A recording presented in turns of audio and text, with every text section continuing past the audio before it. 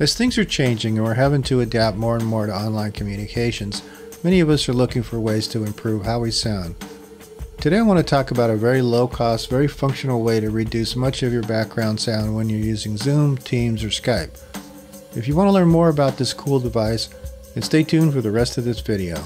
And if you haven't already done so, then please subscribe and click the notifications icon so you'll be notified of any new content. So let's take a look at the hardware itself. Basically the device has a USB-C plug and the housing actually contains all of the electronics and noise canceling, which is pretty amazing in and of itself.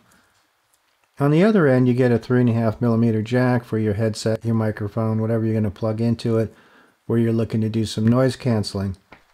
In addition, this comes with a USB-C to USB-A adapter so that you can basically attach to virtually anything. I have tested this on my iPad, I've tested it on my Mac, and I've tested it on a laptop, and all of it performed really well. So let's get into testing it so you can see the sound difference and what it what impact it has on your communications. So when you're doing your Zoom call, your your Skype, or your Teams, you can get a lot more clarity from your sound.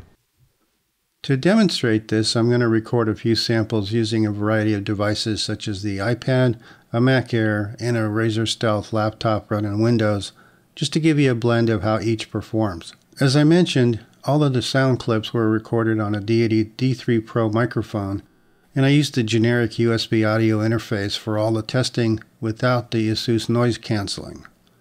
I have a large room air conditioner sitting about 4 feet behind me, turned all the way up, and I'll record each short sample with the AC on, both with and without the device active so you can hear the difference. The clips you hear will be right off the recorder, unprocessed except for the normalizing of the levels of each clip. This first sample is right off the iPad. Being a technology enthusiast for many years, I do these videos out of true passion for tech and in hopes that I can share my experiences to help others. I will continue to produce the most helpful content I can, and I appreciate all your comments and suggestions. Being a technology enthusiast for many years, I do these videos out of the true passion for tech in hopes that I can share my experiences to help others. I will continue to produce the most helpful content I can, and I appreciate all of your comments and suggestions. This next clip was recorded off of a Mac Air using GarageBand. Being a technology enthusiast for many years, I do these videos out of true passion for tech and in hopes that I can share my experiences to help others. I'll continue to produce the most helpful content I can, and I appreciate all your comments and suggestions. Being a technology enthusiast for many years, I do these videos out of true passion for tech and in hopes that I can share my experiences to help others. I will continue to produce the most helpful content I can, and I appreciate all of your comments and suggestions. And lastly, this was recorded off of my Windows laptop using Audition.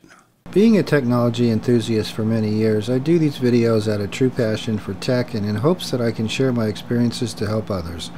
I will continue to produce the most helpful content I can and I appreciate all your comments and suggestions.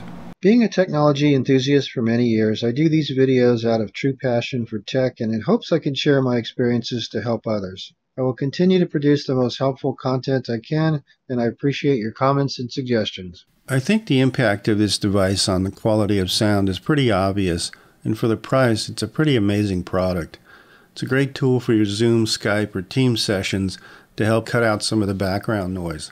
You can argue that it can't adjust um, how much noise suppression that you get, but for the price, it's really difficult to care, and the results pretty much speak for themselves. Anyway, that's about it for this short video, and I hope you found it useful. I'll leave an affiliate link in the description below in case you want to check it out. If you haven't already done so, then please subscribe and click that notifications icon so you'll be notified of the next video. Thanks for watching, and I'll see you next time.